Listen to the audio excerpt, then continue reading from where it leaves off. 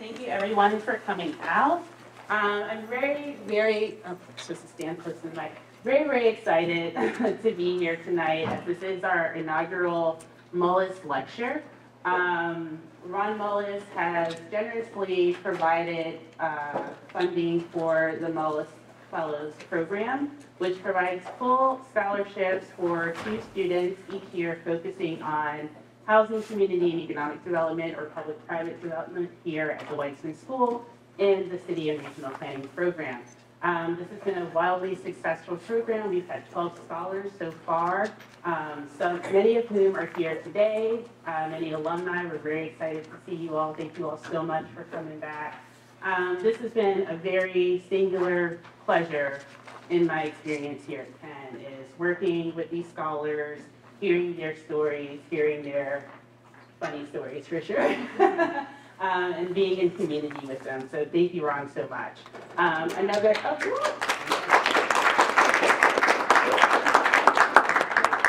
Thank you, thank you. Um, and part of Ron's generous gift is this uh, Moelis Lecture, and I'm very excited um, to introduce our two discussants today. Um, the first person I'm going to introduce is Dr. Wendell Pritchett. Um, I have a one-page bio for Wendell, so I'm No, going to. please don't read, please don't, no, please don't read it. No. If there is a job in Philadelphia, Wendell has had it. Everything but mayor, yeah? Soon, right? Uh, so, Yes.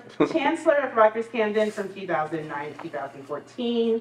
2008 Deputy Chief of Staff and Director of Policy. um, Head of the School Reform Commission from 2011 to 2014. A PhD in History from Penn, a longtime Philadelphian. um, Task Force for Obama, Community Legal Services, multiple books. You can do this. So we're really excited. You can find everything online, I'm sure. Um, Our speaker tonight is Dr. Kenneth Scott, well-known throughout the Philadelphia region for his support and commitment to community service. Um, After a career in engineering and science, he started his Beech William Penn Foundation career as a volunteer and currently serves as the president of Beech Companies, which is a multi-dimensional um, approach to development that we're going to talk about tonight. Um, Ken, Dr. Scott has taught um, Teach at the Wharton School. In 2007, he received the Liberty Bell Award, one of the highest honors from the mayor of City of Philadelphia. Um, so please, let's give a round of sound for our two speakers. Thank you so much. Thank you thank you for being here, Ken. Yes, thank you. Thank you for inviting me. Thank Yeah, you. Yeah. Um, so just a couple of thank yous for me. One, it's it's always uh, fun to be in this building because I I consider myself a faculty member at the Weitzman School. Also, I think I'm actually on the website it's somewhere, right? All right. So Oh, so. I think that's Okay. that's accurate. Um, um, and so that that is one of the things I, I really want to just acknowledge and, and appreciate. I also want to thank Ron. Um, I, I'm pretty sure I was the provost when you created this program, and I'm pretty sure that when you created it, I said that's a great idea. Did I not? Okay. Okay. So so so you know it's gr- just great to see it you know become real um, in in the form of lots of students and graduates who are going to do doing or going to do amazing work. So just thank you and congratulations. Um, so uh, Kira reached out to me a couple of months ago and said we're doing this inaugural lecture, and she said, "I think you know Ken Scott," um, and I said, "Yeah." So um, I was Ken's lawyer 31 years ago. Yes. Um, I think I was 15 and you were 17. Yes, exactly. Yes. Um, and so yes, do I know Dr. Scott? Yes, yes, yes. yes. Um, and uh, it's so great to be here with you and re- re- reconnect. Um, and so tell us about Beech. And let's start. We're going to start with the history. Um, and then we'll the second segment. We'll talk a little bit about what's a lot about what's going on today, and then we got to sure. talk about the future too. So Yes, let's start with the history. So Sure. So the, the the history of Beech was called the Beech Corporation, and the ideal was uh, the William Penn Foundation. If people are familiar with that, uh, that's the family from uh, Rohm Haas Chemicals uh, back in the day, and I guess it's now Dow Chemicals. And uh, so they had they had various philanthropies and trusts. They started the William Penn Foundation. They had an ideal. There was a, the president at the time was a man named Dr. Watson, uh, Bernard Watson, and he did a lot. Kind of took the foundation from kind of their mode of um, you know always supporting the arts and the orchestra and those things to really dive into community development to make a difference. And the uh, so the, the uh, not the founders but the sons of the founders. um uh, John uh, C. Haas and his, his brother Frederick uh, Haas, they uh, they basically agreed and let let Bernie set up these mini foundations around the city. So Beech is spelled B E E C H because it's named after trees. All their sub foundations were named after trees. And ideal, you know, they planted it in different areas. Uh, so you're probably familiar with one of the other sister organizations that was started back in the 90s. Uh, it was called then the Sassafras Corporation. They got the cool name, uh, but it's known today as the Avenue of the Arts. So the creation of the Avenue of the Arts all started with uh, Dr. Watson, the William Penn Foundation, and the ideal to, hey, we're going to bring tourists um, to North Broad, to, you know, spur activity in the city, and really put it together. So if you're familiar with the High School of Performing Arts on South Broad, that was the old library company. That was um, put together by the William Penn Foundation, Dr. Haas, under the Sassafras Corporation. Uh, the Wilma Theater, the renovations of the Academy of Music. Uh, now it's called the Kimmel Center. Back then they were calling it the Philadelphia Orchestra Building. Uh, so that was all these projects that were done today.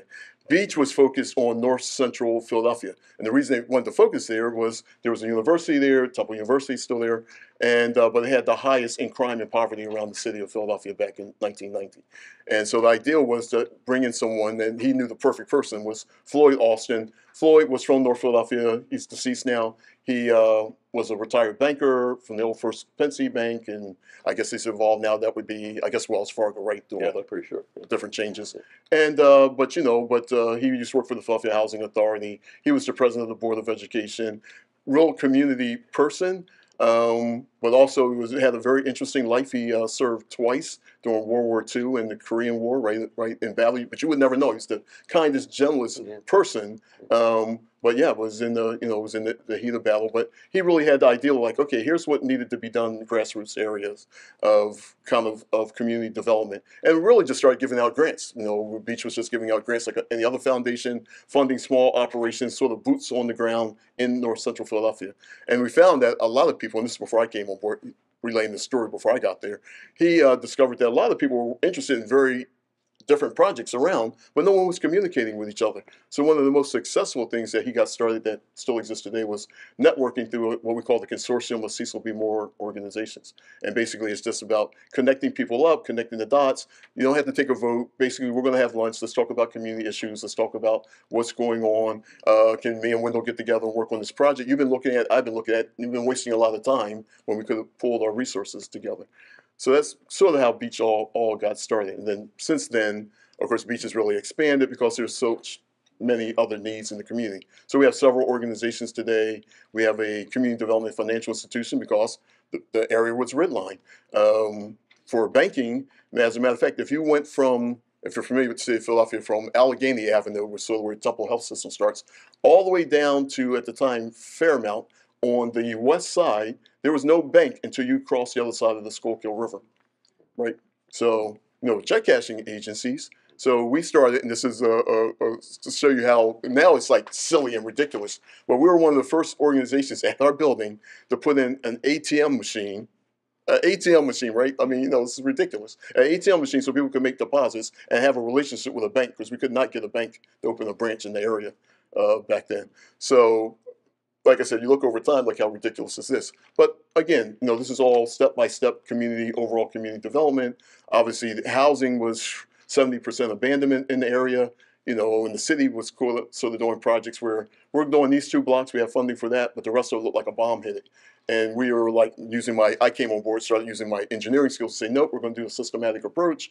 Uh, you know, Floyd can take care of the politics. I'll take care of like the on the ground activities of what needed to be done. And I came as just a volunteer. I had a long, you know, career in engineering.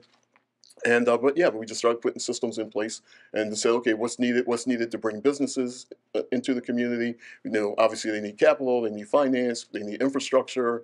Uh, we were doing little projects, even like the sidewalks were so bad. I mean, you- they were just all crumbling. And again, this was a time when the city didn't have any money. Surprise. so we actually took funding and actually replaced the sidewalk from Broad down to I think it was uh, close to Ridge Avenue. Uh, just so okay, we're trying to recreate the commercial corridor. So little things like that. uh, That's that not a little place. thing, by But- the way. But yes, but but those are the, the systematic approach that you know we tried to take place. And of course, we recreated our foundation. We also have a foundation that gives out grants twice a year and scholarships. And we also have a, um, uh, what I out, our Beech Community Services It works with the schools and does a community newsletter. Um, got uh, we recognized that there's nothing but bad news coming out. I had a lot of friends in journalism, had some experience myself in, in with journalists, and realized that okay, you know, you know, you're arriving for those notes. You're arriving here today is the news. But if you get killed on the way here, unfortunately, you know that might make the make the news. So the idea was, oh, you know, how do we generate good news stories? Say, hey, this community is coming back, and we want to redevelop. And uh, so then we started our own studio because you know, uh, sending the news truck out sometimes, you know, it costs money. They're short of reporters. And we just came up with the idea we'll just generate our own news stories. We will for, form a partnership with some of the local television networks. For a while there, we had Comcast, NBC, like actually in our building, they have a studio. And we still have our studio today for public service announcements. But the whole idea was to generate positive stories of what's going on, not always there's a shooting um, types of things. And um, you know, we, we have an annual jazz festival that we know we, we produce just to kind of get businesses, especially small businesses, um, to come out and support them that on any other festival that you would see someplace. Then we just had the Avenue of Treats for children. We noticed on TV one day that, hey, everyone's going out, these kids are having a great time. In this community, are afraid to come out at night as we're revising. So, so we're going to create a safe corridor for children. So we get about a thousand kids now come, and they get to put their costumes on and march through several blocks. And businesses give out uh, snacks, and we also give out information, community information, how to get a library card, or any other social service activities while we have the parents out uh, to maintain those. A lot of work with the local schools. Um, have actually worked and created and built uh, a few other schools. Have another school that's very much tied to the foster care system because again, as kids transfer around to different temporary foster care placements, uh, we thought it ideal with Floyd when he was here that you know how about we come up with a school where basically we can let the social service agencies know and they can kind of always get transportation and kind of be educated and kind of keep you know some consistency um, because just jumping around, of course, uh, leads to failure. So yeah, so that's kind of what what that's Beech has been So you can see comprehensive community development organization. So involved. So let's stick with history for a little while longer, and then we'll talk more about closer to today. You alluded to challenges with things like paving the streets. So let's talk about the city of Philadelphia and city government and, and how you interacted with them back then, and then we can compare and contrast to today and your hopes for the future. But also, uh, uh, I know, because you've shared them with me, lots of interesting stories about other anchor institutions like Temple and how you've worked with them over the years. So t- t- take us. Talk, talk to us a little bit, please, about the partnerships that you had. What worked, what didn't. Oh, okay. So, um, so yeah, lots of uh, we'll try to do some community partnerships, but uh, tough with the university. It's very much uh, where Temple is very much walled off uh, at the time of hey, you know, don't go over there. You know, very concerned about safety. Still concerned about safety uh, these days. But yeah, so but very much very hard to get a partnership in with a lot of the universities, and no, not just just Temple, but I'm always reminding them. You know, every time it's like, oh, we only come to the community when we need something, right? We we want to build something. Hey, we want to shut this street down. And uh, I always remind them, it's like, well, why is it that every time you get something, it's permanent? Every time the community gets something, it's temporary, right? And the other lesson to be learned that I kind of factored in after I kind of observed what was going on is, you know, we have to stop these handshake agreements. You know, this is, you know, just like anything else, you know, we, you need binding agreements that are enforceable um, down the road. So, so yeah, so we've had we've had our ups and downs, and uh, James White is now deceased, but uh, he used to be the managing director for the city. He was a senior VP at Temple. He was on board. He was one that really was like, hey, we have to do a better job. I mean, the reason, one of the reasons Beech was created was to say, hey, we have this university sitting here. Uh, what can we do to really, you know, partner with them to be beneficial for for everyone? Um, and you know, the surrounding community, obviously, primarily African American, Black people. And uh, matter of fact, we did a little study one time because with a lot of friction, and I like data.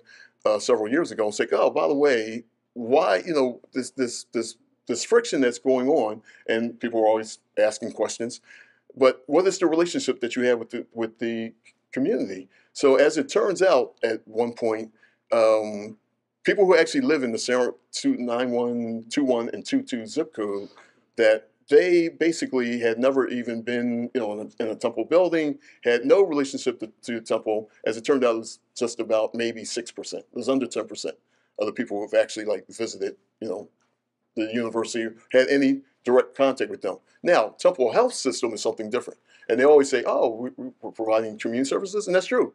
The community is are the customers of Temple Health System, right? Without those people, there'd be no Temple Health System coming, right? But the university is a separate thing. They have a separate board. And uh, yeah, there's always, you know, seems to be some conflict. And yeah, there's some good things going on um, from time to time when you, you know you have these relationships. But yeah, but it can be a bumpy road. Um, no different than the University of Pennsylvania and community issues um, around here, and you know what what used to be uh, made up of this community and some of those issues. As as a recent example, we had mentioned just about the university's uh, city townhomes down at 40th and Market. So we're kind of tracking a little bit because again, looking at a documentary down the road, you know, what is the life change of living there and going to like the Penn Alexander School to now some of those families are in Olney and the schools that they were going to attend, and you know what what does that mean? So so between that and just overall community relations, because again around Temple, I remember one of the former presidents said one time was at a meeting, and she said, "Oh, and the, the Temple community." She kept using this word, the Temple community, and the people in the community. Somebody stopped and said, "No, I'm sorry." Um, I think it was President Hart at the time. Um, I'm sorry. I just want to like remind you that Temple is located in North Philadelphia. North Philadelphia is not located inside the Temple. You know, you've got 30 or 40 visiting, 30 or 40,000 visiting students, but it's 250,000 people that actually live in this community. And why are we always, you know, the, the afterthought? Why are we always at the bottom of the, of the food chain? And of course, it's important. It is an, is an employer. People need jobs. They do employ people from the, the community that work there. Um, not necessarily in academics. If you look around, it's quite clear. Um, but yeah, but the other support operations, right, that comes from there.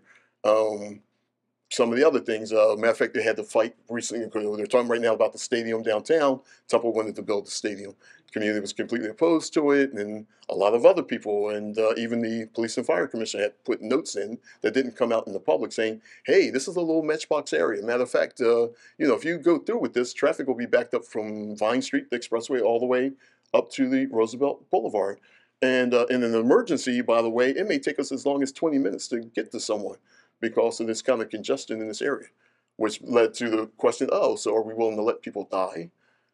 You know, so that you can have a stadium, not, not to mention the, you know, we won't even joke about the whole football situation, but but yeah, but just the, the whole ideal of of again, we're going to close down certain streets. It's already traffic is backed up, but now they wanted to actually close off certain streets.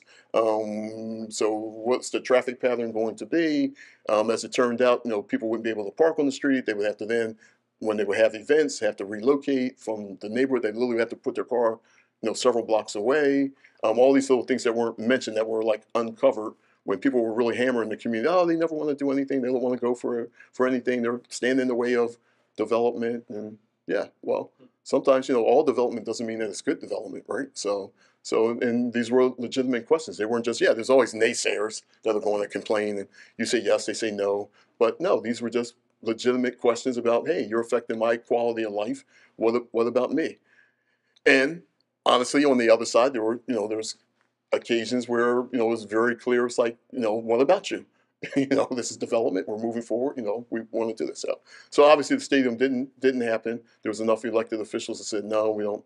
We're not going to agree with this. Communities opposed to it. There's too many issues, and you know, that doesn't mean that it won't come back up again. But that's kind of uh, just reminded me as we're talking about the Sixers arena in Chinatown. Their their their concern, which are legitimate concerns. Um, it may move forward, but as I advised them, yeah, you better plant your flag and say, hey, you know, and what about our community? What assurances do we have with this? Because one thing that Chinatown can say, and they can point to, I mentioned this earlier in a conversation. If you look at Washington D.C., they have a Chinatown community there. And then they built the stadium, which I forget what it's called now. What's the MCI arena? But whatever it's called down in, in Chinatown. And you can just look at the whole community. Where's Chinatown? Go visit. Where's Chinatown in Washington, D.C.? What, what happened? So, you know, they can definitely hold it up as an example of, hey, you know, how, how are we going to protect, be protected so the same thing doesn't happen to us? Obviously, economic development is important. It creates jobs. And, um, things change. You know, we don't can't keep everything the same. Uh, so yeah, so these things are important, but they're you know they're important questions. So when there are conflicts like these, and we'll start segueing into more present stuff, um, when there are conflicts like these, there are lots of different stakeholders and different participants. But one group that's usually at the center of development conflicts are planners, right? Yes. So talk to us about how Beech has worked with with the city, the city planning office, the um, uh, the city housing offices, all those different kinds of offices. Talk to us about how how you've, you've worked with them, sometimes in conflict. Um, you know, what role do you see for young people like our audience who are emerging as the next generation of planners? How do you think about what Well- advice do you have for them? Sure. Well, one one is, is, is great. I'm always you know uh, very proud to see anyone that goes into community planning. Obviously, it's, it's close to me, and and it's and you know having to deal with some of these social issues um, that go along with community planning. Um, of course, there's different types of community planning. Obviously, the market rate development and things that are taking place, and then there's affordable housing on on the other side, and then there's a, a mixed rate of economic development. So yes. Um, Okay, I just wanted to make sure you work on the fall. You work on the fall. It's like, oh, don't, don't, don't hurt yourself. um, so yeah, so but no, always happy to to you know work and part whatever knowledge and wisdom I can can part to people who are studying community de- redevelopment. But, It's- but tell tell them about what they're going to face because Yes. they have hard jobs ahead of them, Yes. right? Managing the conflicts like Oh. a stadium or or even a community development project, or affordable housing project. Yes, Like, yes. go- talk talk Hey, to us about not- how you've worked with. Community development is, is not for the faint of heart. I can tell you that, right? Is is the, the road can be quite bumpy. It takes forever uh, on some of these projects. You know, government moves slow. It's not designed to to move fast, and and it's very can be very frustrating. I come from a world of engineering where you know things move very fast. They say put this up, you you get it done. Uh, in community development, we have a project that just talked about a rec center, recreation center that we're doing. We started that process in 2018. It's now 2024 um, which leads to another whole thing. We say, oh, children are our priorities, but no, paperwork is often the priority. We, we, we joke about this all the time that, you know, how important paper is to some people, and then at the end of it, it's just going in the trash anyway to be recycled or these computers will be wiped out. But yeah, it's, you know, this is the struggles of working with the city. Everyone comes with various ideals. And remember, you know, you're there as a planner, but elected officials, you don't know how long they're going to be there. And, you know, they have, their, their, they have a vision of what they want. You have a vision of, no, this is what's best, but now you're in conflict often times with you know elected officials. Perfect example, when we get to election, but oh god, by the way, guess what's going to happen with HUD and some of the things that they were focusing on in Washington with a new administration coming in. So uh, sad to say that a lot of things they're working on, it's like, well, put it in the put it in the drawer. Some of it will unfortunately go into the to the trash um, on some of these community operations, but yeah, that's that's kind of what you're working with, and uh, just trying to you know stay consistent uh, with your work. But yeah, so I mean, I've a thousand e- examples. Of, Give us one. Though. of- give us of- one. Give us one. well, so here's a well here's a, a, a change. So the change used to be a lot of the land in North Central Philadelphia, you could get it for a dollar. No one cared. Matter of fact, it was like, oh, you know, the, to develop, a, redevelop a, a house that was falling apart, people would say, why are these houses all abandoned? Why are they sitting there um, empty? Well, because you know the cost to redevelop it versus um, you know what you could sell it for, right, uh, was out of balance. Now, just opposite, right? Because private development has come along, and said, oh, by the way, that land is now worth a hundred thousand dollars. So a lot of original plans that they had for affordable housing all over the city of Philadelphia got wiped out because private development came in and said, no, we can do it. And the city is saying we can collect taxes on this, this is tax revenue. We don't have to subsidize it, which takes a long time. So yeah, so unfortunately, a lot of plans that were on the drawing boards got wiped out over the over the last ten years, as not just in Philadelphia, but as redevelopment started to take place all over the, the city. Um, but some of the crazy stuff is, you know, some of this is just common sense things you would think, like, hey, this project is ready to go. Uh, there's 30,000 people on the wait list in the city of Philadelphia for affordable housing. Um, you know, why not just, you know, take some of the existing homes? It'd be a lot easier to put people in those homes than it is to redevelop new homes. For those people who don't know, the if you go for like low income housing tax credits, just for like the average person, it's about $50,000 to get the application, somewhere between fifty and $100,000 to get your application in because of all the consultants that you must hire um, to make that happen. So yeah, so for the average person, and the city's got 30,000 people on the wait list, they develop about 800 to 1,000 units of affordable housing every year. So how do you ever catch up? So it can be very frustrating. And then again, you're working for the government, by the way, as a planner. So hopefully they'll keep your training up to date. But I remember I had just left the utilities. They had this new CAD system downtown in the planning office, and it still was all wrapped up in the bubble wrap.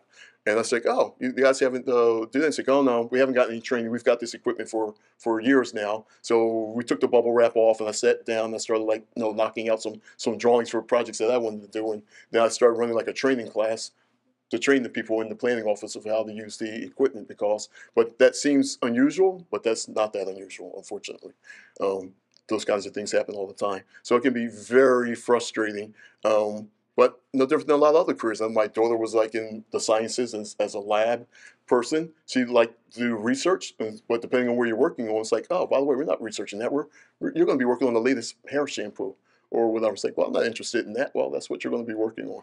And oftentimes in planning, you know, you have ideals, you have great ideals, um, but the frustration, just like in architecture, um, yeah, you're you have great ideals, but the people you're working for are like, no, you're you're working here. Here's the ideals we want you to work on. Here's the things that we want you to to uh, process. So it can be it can be quite frustrating. And let me just mention about going out actually into the community, which is a whole nother issue. So if you're going to be in community planning, depending on what type of planning you're going to to do, step number one is you can't be afraid to get engaged to people that you're planning this community around.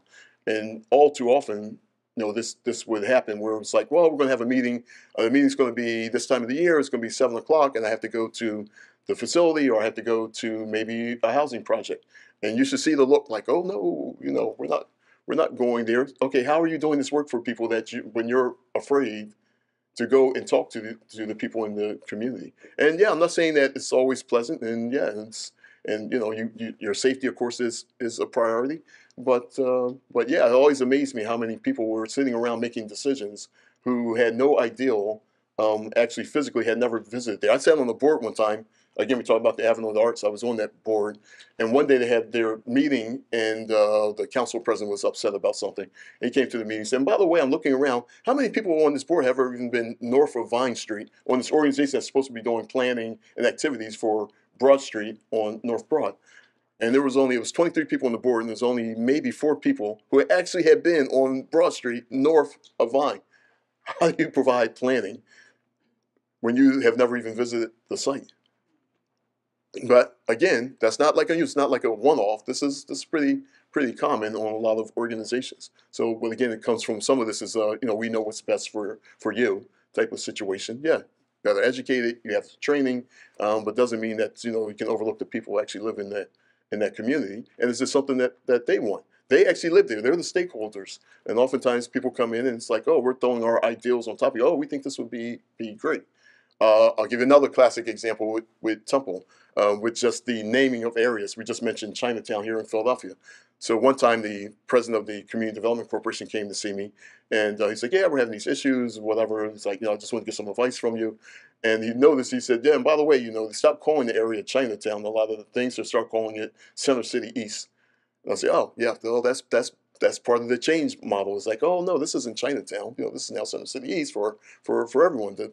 To do away with this. So at Temple at one time, because North Philadelphia had this stigma, they were trying to push this title Templetown oh, you now you're in Templetown or whatever. It's like, no, this area has names. Cecil B. Moore Community, Yorktown. These are well-established names for people who live here in the community. So one day on the Google Maps, it was changed. Someone from my office called me. I was out of town. I said, Ken, the, the name, uh, they happened to be taking a cab, and they noticed that on Google Maps because the cab driver was looking up. He said, oh, it's being called Templetown now, or whatever, the area you live in, Templetown. It's like, no, they're very prideful. Cecil B. Moore Community is named after civil rights leader Cecil B. Moore, right? Yorktown, some of the other things, no different than living in Fairmount or Spring Garden or whatever.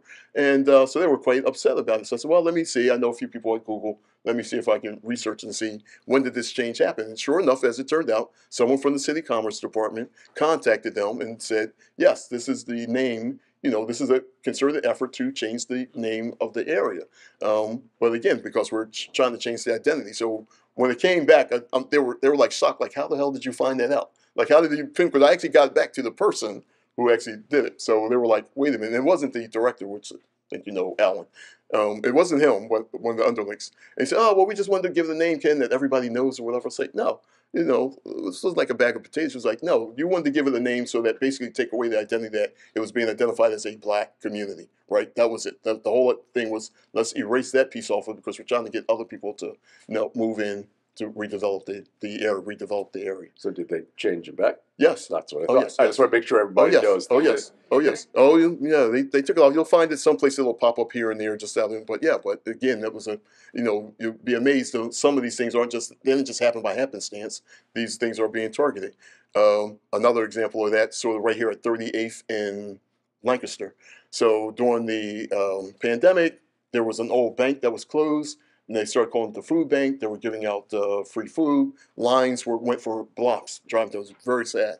I saw that they were had constructed. They were constructing some new apartments across the street, modern apartments. And it used to be a school nearby. It was an elementary school, and it used to be University City High School. They're now all apartments in that area. And um, so they, um, so I said to someone, we were talking about it one day, and we were out visiting. I said, "Oh, I said, by the way, how long do you think this this food bank's going to last over here?" I said, "Because I'm looking across the street. I said, I can tell you right now that somebody's working on this to say." This has to go. We can't open new market rate apartments over here and then have people standing in line for, for food across the street. So they don't know it, but I'm telling you, somebody's working on this has to go, and they will then put political pressure on. They will then look at zoning. They will look at all kinds of issues to make sure it- it's gone. So if you drive by today, it's been gone for, I said, a year, year and a half, and now new apartments are being built. Not that I have anything against, you know, I mean, people need a place to live. I mean, that's that's fine. Uh, we are developers. We've built thousands of units of, of housing, you know, affordable housing, some student housing, educational facilities. Um, yeah, I mean, you know, economic development is good. It's a job creator. Uh, there's nothing nothing wrong with that. But again, as I said, all development doesn't necessarily new development doesn't necessarily make it good development. So, so let's talk about that, and let me raise the, the word that I'm sure students will raise in their questions: gentrification. So let So- so t- t- tell us how how do you let me let me let me frame it in one way, but you can think about it a different way. What I heard you just saying is the question is a question is development for whom, um, and what's good development. So how do you define good development? So it, it's so it depends. So good development one is so when we started doing North Central Philly it was seventy percent abandoned, and we knew that the development was to bring people who used to be in the community or other people who are of modest income to move back into the community. That's that's fine. Um, in other areas, of course, you're in Center City, you're building high-rise apartments, whatever. That's that's fine. It's a different quality of, of life. So, but you know, it, it always gets to me when I see people doing development. And it's like, oh, we're, we're coming and they'll have meetings with community organizations oh, this is going to be great development because we're uplifting the community. And I'm always remind everyone just say, oh, by the way, so is this development for you? Are you going to be able to live here? Or is your family going to be able to live here? Or are you going to be completely priced out by the market and by the new tax situation that's that's going to hit you? Um, so that's where it gets, you know, to be a very delicate situation because we all know, looking around, like, oh, here's new development came in. Yes, the community is, i.e., im- improved, but improved for who, right? So. And then what happens to those people, as I just said, like at University of Talent? Okay, and there's a big thing going on right now because people are seeing more homelessness in different places around the city. So this is the Kensington spillover. So yes, we can clean up Kensington, but you didn't solve the problem. You just shifted the problem around, right? And I call that being on the, I, I am going to term the wheel of poverty, right? Where you just keep getting shifted around on this wheel. Um, we don't really solve any problems. We just like move you here, move you there. You know, t- uh, temporary solutions.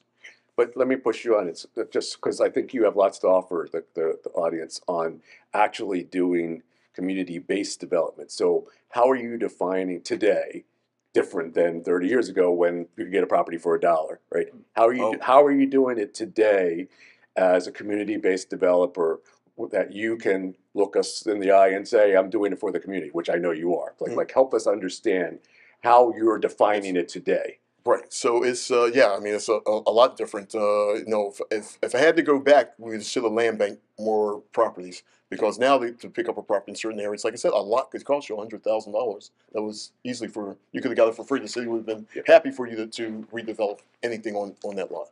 Um, so yeah, so that's one of the things that you know we wish we had Yeah. done more of, Yeah. or the city, which actually created a land bank, which had had some issues. By the way, I was was drafted onto that board, the original board of the land bank in the uh, in the Nutter administration days. I think you're familiar with that. Yes. So the yeah. So that's that's one of the things I wish wish we had done. But the development today, you know, it's very limited on how much you can get depending on the property. Who owns it? Does the redevelopment authority own it? Uh, some of the projects that the city owns, yes, you can still work with them to move some projects forward. But again, they don't have the inventory that they used to have. Uh, it's a little more complicated because other people are actually bidding on those properties, and you know the city wants revenue.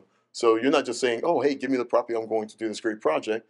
The other side of the city is looking at some of these pro- land, you know, where the sites are located, and saying, "No, you know, we can sell that all for market rate for hundred thousand dollars. We we we want that revenue. We want that future tax revenue, right? With private development. So that's one of the the biggest changes that has taken place, and also so much the rules have changed. It's so much more multifamily as compared to single family um, development these these days because they eliminated a lot of the parking rules and some of the changes in zoning. Um, a lot of people are upset all the time with zoning and oh, we hate going to the zoning board. Why do we have to go to the zoning board to talk to people in the community? But that is the community's only chance, really, sometimes to say what's going on in your community next you.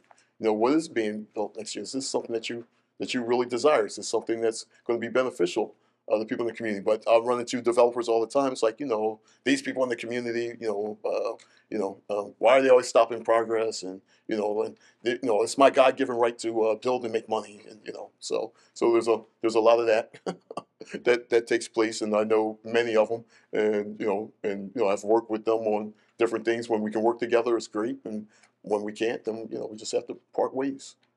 We, we haven't gotten to the future. I want to take questions from the audience. Um, we'll, maybe we'll talk about the future after we get questions. But let me ask you one, one more question related to this topic. So, what's a project that you're working on right now that you do think you think is working? So, you, you outlined a lot of the challenges in getting the city to rec- recognize that uh, turning over property to you is a better investment in the long run than probably some others. So, what's one you're working on right now that you think's going to going to happen? And just tell us a little Oh. bit about it. Sure. So we have one project that is a um, uh, it's going to be sort of a mini Reading Terminal Market. And it'll be on Cecil B. Moore Avenue. And basically, the ideal will be providing jobs through vending uh, for returning citizens. So it'll give them an opportunity to become entrepreneurs. They'll be able to sell stands. We're going to make the cost of entry very easy. We may even be able to supply the kiosks and different things, and they'll be able to set up. And so it'll be like a, like I said, a small Reading Terminal with various services that they'll be able to provide. But it's really geared towards you know returning citizens. Um, and that's underway. We hope to actually get started on that and maybe by the spring. So it's pretty much fully funded and on its way. Excellent. Excellent. Right, it was an old movie house. It's a very, very interesting building. Um, but uh, yeah, we'll be able to knock that out. I want to hear even more, but I also want to make sure that people get to ask questions. So, Akira, do you want to Yeah. ma- manage that part? And then I'll probably sneak in a couple more questions before we say goodbye. Lovely. But I, I'm sure there's lots of Yeah. let's, questions out there. So let's make sure that other people get to. Question? Julie? Yes, I do. have a question. Oh, okay. and, and you should make one up if you don't. No, I've been taking notes. And, Like honestly, like thank you for coming. Hmm. Um, greatly appreciate uh, learning from you. Um, so within real estate development, you're talking with a lot of people, a lot of stakeholders, and so you're developing a lot of relationships within that. And the key ingredient with like relationships, there is a level of trust. Yes. So I'm curious, um, what is your approach in developing trust within the community, trust within various stakeholders in order to get a project uh, completed? So, uh, so it's an excellent question. Yeah, So very much, I mean, it takes time. I mean, you don't just walk in the door and people trust you. I try to explain that, you know, there's a difference between someone, you know, you, you know someone, for example, like on social media, and you really have a relationship with someone, right? Because Facebook kind of co-opted that word friends and people think, oh, you know, I got a million friends. Like, you know, really? You know, Yeah. so same thing in community development. So it's very fortunate that the former president, Floyd Alston, was from that community. He had been there, people knew him from the school district, uh, the Philadelphia Housing Authority, different places. So he had built up a lot of that trust that allowed me, my role, to just come and say, okay, here's what we need to do, here's how we can do it from an engineering, you know, a community planning effort. Uh, but yeah, but you know, so now of course I uh, that trust has transferred on to me over the years. I've been there, you know, so long. I've known so many people, their families. Um, but yes, and uh, one example I have to say that I love this happened not that long ago. Uh, so we built all these these homes. They were affordable housing. By the way, the first house that we that we redeveloped in the area, just to show you how things have, have changed. It was on Sydenham Street. And uh, the first house that we actually redeveloped, when we decided we were going to get into the housing mode. And the house sold for $12,500. right? That was what, uh, 1994, that was, 95? yes, Yeah. $12,500. So that same house today, last time I saw it was sold to someone, I think it was about it was like 220 or 225, something like that. So, so I mean, it is, it is a good financial investment uh, for people to build generational wealth, which I love. But the, but the story I was going to tell was I was down talking to someone in one of the communities that we had redeveloped.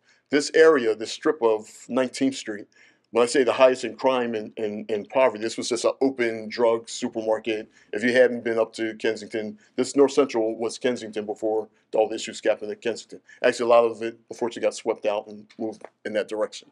And uh, it was so bad, by the way, that we had, you know, it's rare to have a serial killer in your neighborhood, but not only did we have one serial killer living in the neighborhood, but we had two. We had someone living on 19th Street who had murdered, who killed like 11 women and buried them in the basement.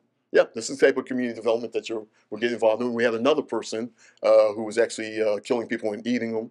Yeah, right. Uh, yes, yes, yes. This is the kind of stuff that you can run into towards in the you know doing community development. When I say okay, you your heart has to be into it, and you know you can't be afraid of uh, you know your investment of investment of time in the community. But at any rate, so this all developed. These are now beautiful homes. There are many twins. There's front lawns, rear yards. There, um, yeah, it's great. Uh, you know, uh, as a sense of housing. But so I'm there talking to a, a, a neighbor. The school bus pulls up, and in the background, I see the Comcast towers and all that because there's only 16 blocks between these locations and Center City. And the bus pulls up, young lady jumps off the bus, she comes, she gives her neighbor a big hug. Since not her parent, she's talking about her day, how was your school day, all of these great things that you would want to see in a thriving community. You know, we have a, a library that we've, we finished in. There's a market now, there's there's banks, there's everything here. And sometimes you have to take a step back. And at that moment, I had the moment of taking a step back saying, oh, you know, damn it, this is this is why we do this work. You know, this makes it worthwhile because you know there's a lot of rough days where you're like, you know, like why am I doing this? You know, like I was when I go months sometimes without having a day off, right? That's what some young person say, oh, but you're the president of the organization, you just put your feet up and it's all great. It's like, oh no, you don't see how the sausage is made behind the scenes. But that was a moment recently that really just touched me like, oh, and this is why we do this. Look at this beautiful community that we have here of people that were able to move back in. They live here. There's the Comcast towers right there. We were able to preserve this. And they also were building generational wealth because, again, the houses, those houses ran about sixty to seventy thousand dollars. No, I'm sorry. The last batch was eighty. Started at sixty. Last batch went to eighty, and now they're probably worth over two hundred fifty to three hundred thousand dollars. So you know they are building some generational wealth for themselves.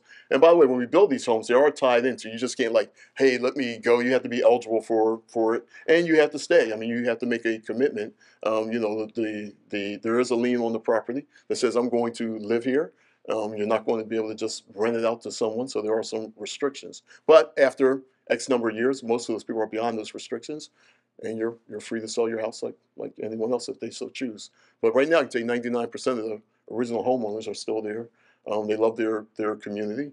Um, a lot of people in development, by the way, in private development, always who want to, oh, you know, we're, we're making changes and people are moving out. It's like, well, you know, I don't understand. You know, people are, you know, we're offering them money and you know they're they're getting hundred thousand dollars. Like, first of all, where where are you going to move that for? Hundred thousand dollars these days. But uh, secondly, you know, they're they're not interested in the money. They have a sense of community. They like, they like talking to their neighbors. They like coming out and playing cards. They like having a block party. It's their whole quality of life. You know, it's not just about money. Oh, we offer them money, and you know now they can move on. Some people are transient like like that, but for the most part, no. You know, it's more about them having their sense of home, their sense of community. Um, that's kind of where they're at. Thank you. Another question. That was a good question.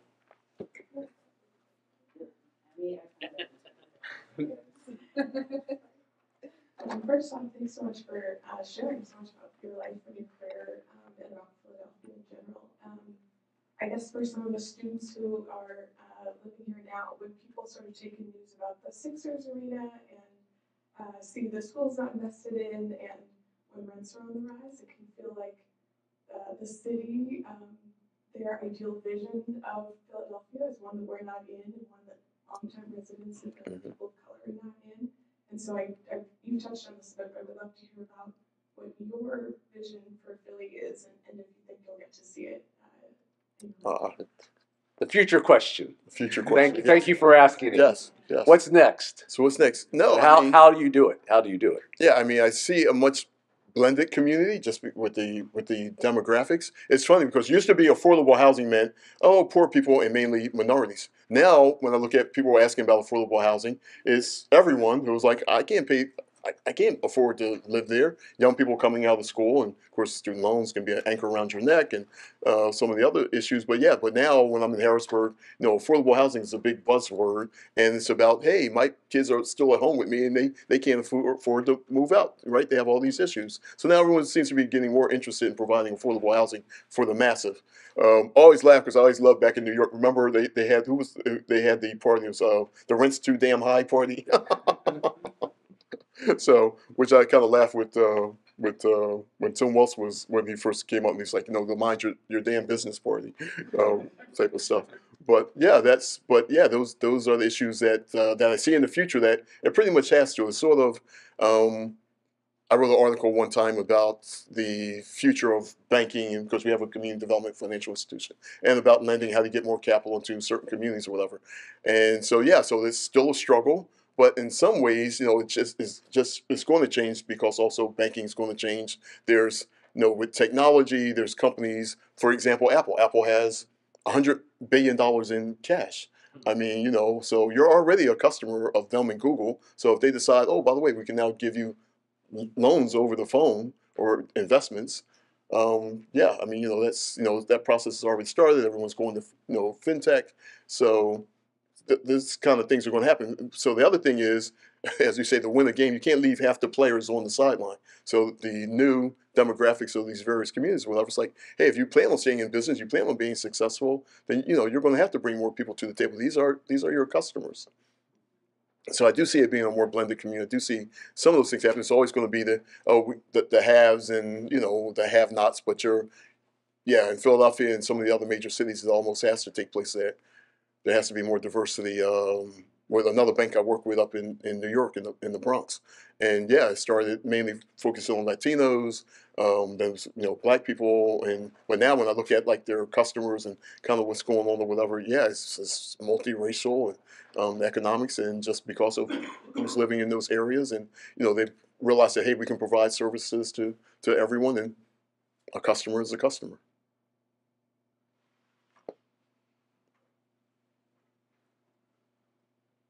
Questions?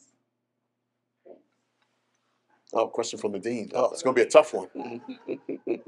He'll be kind, I want to ask a question, not as an academic or a dean, but um, as a basketball fan Oh, and not, not a 76ers fan. oh, Um, But, um, all right. Cancel. I'm pretty sure he's a Spurs fan. Spurs. Spurs. he's a Spurs. um, uh, the Temple basketball Mhm. Um, this is just visiting as a basketball fan. Seems to fit. And it seems to me that someone gave it some thought Mhm. and it seems to uh, work reasonably well. Mhm. Now, is that true, or, or I'm just biased because Penn beat Temple the two times I went over there? Yes. And I was feeling very good about uh, that, see a Temple fan. Yes, yes, yes. But it, Right. what, does that work, or, or am I just No. So that's uh, well. That's excellent. There's a story behind it. Yes, right? excellent that that that caught your caught your eye. So again, when, you, when we say there's always you know people who are opposed to stuff, and someone wanted to build a football stadium, they're like, oh, and the community's opposed or whatever. Well, that was called before that was called Temple called it the Apollo of Temple, and they wanted to build it. And Beech was one of the supporters. We were trying to create an entertainment district on North Broad with the movie theater. Uh, we had Freedom Theater, just various things, the Blue Horizon. But the idea was to draw people to come back into North Central Philadelphia. And so, yeah, so it was very well thought out how we're going to handle the parking. It's only going to seat 10,000 people. It's going to be some traffic, but it's not going to be a nightmare. So, yeah, there was a lot of effort and community effort involved in that. And that's when James White, Jim White, was over there on the board and he was very engaged in making sure that, yeah, this was going to work out with the community. Now, there's always some politics behind the, the city council president at the time. You know, he was also using it as he as he said to me one time, and he'll he'll tell you because I guess he still teaches his his class on politics and civics This, and this is then Mayor Street. yeah, Mayor Street, right? Well, at the time he was city council. Yeah, yeah. Uh, this was his district, Yep. and uh, he was getting ready to run for office, and we were talking about what's going on, and so he made it very clear. He's like, "Well, Ken, you know, everybody needs an enemy, and you know, so need to draw draw people like okay, and by the way, like you know, let's let get to a certain stage, and we need to say, okay, what's what's going to be the community plan? Why is, how's the community going to benefit from this? Um, well, all the, you know, th- those kinds of things to make sure everything was taken care of. But yeah, so what I would say, former Mayor Street, he was one of the best planners, I'm telling you, that I've ever run across as a strategic planner. So a lot happened under his administration, sort of like in the background, and you know, as far as a spokesperson and some of the other issues that they have. If you go back and look, you know, at the sports complex, complex with the, the Eagle Stadium, the Phillies, um, some of the other development that took place around that time. I mean, he was really the, the real person behind it, driving a lot of a lot of that. And I mean, and he very much cared a lot about uh, planning. So I give him all all credit because some of the things I'm like, what you know, what is going on? Like, what are you, what are you talking about? But he's like I said, he was like a long term thinker, and he's like, you know, you're you're here. He's already down the road and has already figured out the strategy. So you have to give him a lot of credit. Go back and like kind of follow. I wish he would like publish some books, but and kind of follow what he did and kind of his strategic thinking uh, behind it. But no, it was very well thought out. The community, for the most part, was behind it. That was the difference between this football stadium they wanted to build. People were, yeah, were engaged. Like, yeah, this could be a good thing. They saw that we're going to do a movie theater. Other retail was coming. There was other activity. Matter of fact, one time, this goes back a while. I was driving up Broad Street. Uh, the Liacouras Center had an event. At the time, the Blue Horizon was open. They had a boxing event, and we had just opened a new movie theater. Batman was playing, and there's long lines on North Broad Street all over. And, was, and again, it was one of those moments where you were like, ah, this worked. All this planning, all this effort went into this, and here we are today, and it's full of people that were never on North Broad Street before that, right? It's like, oh, we're not gonna, we're not gonna travel up to North Broad Street. So, so that was a quite a success story. And I had to remind the current Temple people that because sometimes you know you get institutional amnesia that oh by the way when you were complaining about this stadium just remember the support that you had for this because it made sense to people and you know there was some some job activity not as great as as you want it to be. Matter of fact, one of the things that came up with the stadium by the way was like oh this is going to be jobs there'll be new jobs and you know what Play five yeah, games a year. yeah, right. What, yeah, what are you talking about? And the other piece behind it's like, oh, and there'll be like opportunities for vending and entrepreneurship and all that. So that had to remind them, oh, well, by the way, one of the failures at the current Liacouras Center is like, oh, by the way, how many minority vendors do you have right now? Because again, what is the best predictor of the future? So tell us right now, as in the meeting, how many vendors do you have that are minorities? You know, primarily black. You know, what what do you have right now at the Liacouras Center? Um, when you're talking about doing something in the future at the stadium. So, and you know what the answer was, right? Can you guess? How about none? Okay, so this is what you're currently doing, but you're going to tell me it's going to get better in the future. so, yeah, you just some of these things. So it's like, yeah, so that's that's that's part of you know in community planning. Though it's like, okay, well, you know, do a better job of thinking these things through of how this is really going to benefit people. What is the real purpose, you know, behind this because oftentimes you know new development just gets kind of thrown in hey this this works. Like i said the current stadium is sort of the, the fight of billionaires of hey we don't want to be at the sports center anymore because we want to have our own stadium because we want to hold our own concerts and we want to we want to make more money than being there. My and my ideal by the way that i thought which goes back to the way back when who i forget who came up with they were trying to move the phillies in there. I thought 30th street if you're going to build a new stadium put it at 30th street. Put the platform over the over the, the tracks. It doesn't interfere with anyone's community, all the public transportation there. So it'd be like um, Penn Station, right? With Madison Square Garden um, sitting on top of it. And I thought, well, that'd be an ideal location. But um, but again, I think there's another group, right? Probably the Brandywine group probably has control of that. And it's like, no. And the whole idea is they don't want to share. They're not trying to have a partnership. It's like, no, we, we want to have our own and they want to control it. And they have every right to every right to do that. We'll do one one more question. One more question, yeah.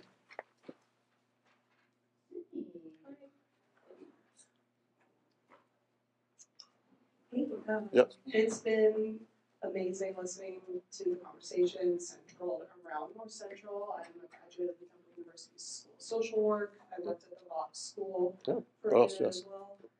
Um, the area, as you know, Temple just got a new president, John Fry. Yes, correct. He's coming from Drexel and was responsible for a lot of the neighborhood change in the area. Mhm.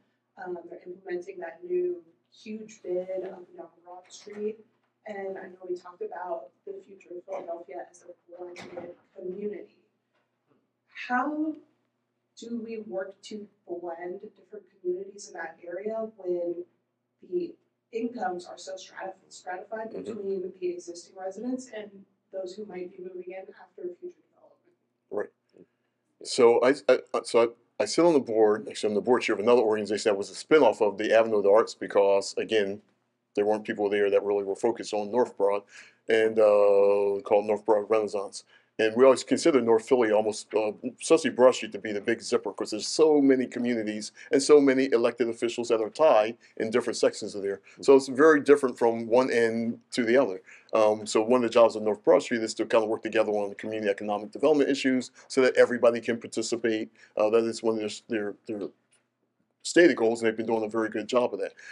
Um, but yeah, but it, you know, it is it is tough, and but you know, but it starts with just kind of letting everybody have a voice, right? Here's your community. Here's what you're doing. Here's what you're interested in, so that I don't come along and say, hey, I'm to. Now I've got this great idea. I'm going to transform this, and I'm going to put up a, a whole bunch of new shops and businesses, and people are like, well, you know, did we ask for these shops and businesses, or and, you know, what? Why are you? Why do you show up all of a sudden out of the blue and assume that this neighborhood needs to be? Because some people are very, very happy. Not happy with poverty, but you know, but they're overall happy with their housing, and and you know, they have decent housing wherever they work in their careers, and you know, so but uh, but again, a lot of this, you know, new development, as we said earlier, isn't necessarily for the people who are living there. Of course, the city likes it. You know, it's, it's revenue, it's new revenue.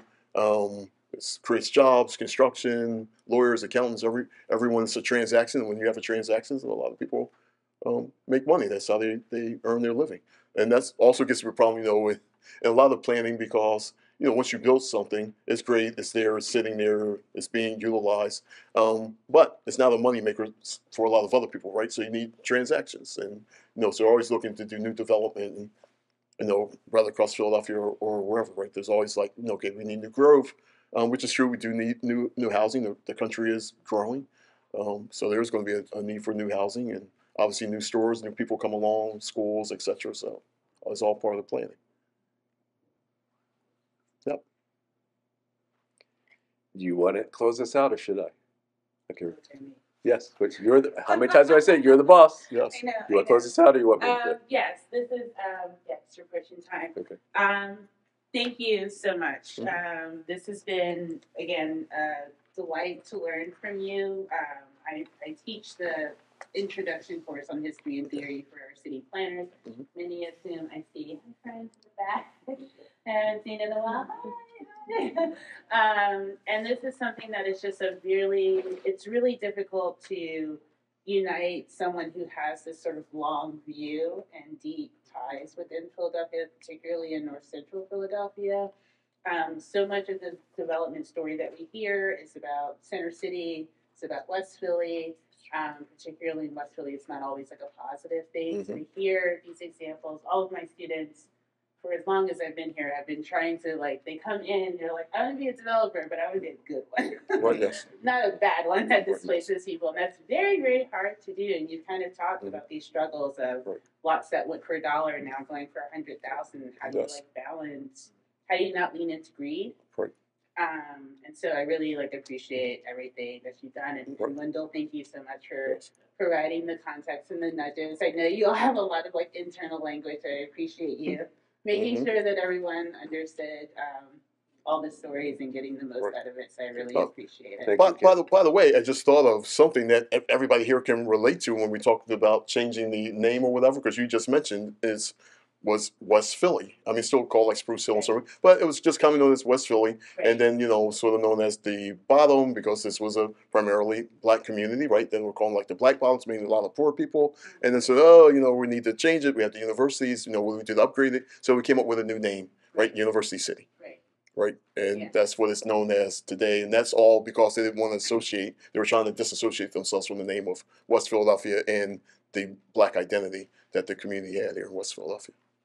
Yeah, you know, I was talking to someone and we were talking about how segregated Philly used to be so that if you were I my family grew up in South Philly and as a black person if I said I'm from South Philly, you knew the exact like five block radius that Yes, I right, was yes. from in South Philly. Yeah. And that's just totally now I live in Point Breeze. Right. Right, so right, right, it's yes, like right, right, it was always right. the name, but it's something Yes. that because like you said, the racial Well, geography of Philly yes. in particular is changing. Mhm. Um, Well, the demographics are changing there again. So, you, Yeah. are you in Point Breeze or are you in Newbold? I'm in Point Breeze. Oh, yeah. okay, I'm not okay. that far. Oh, okay, okay. Oh. Because I was like, what is this Newbold? You know, where, Exactly. Yeah. where'd that come from? Well, No. Okay. Well, thank you all so much. Thank you to Rob. Thank you, Ken. thank you. Thank you, Ken. Thank you. My pleasure. Yes, thank you.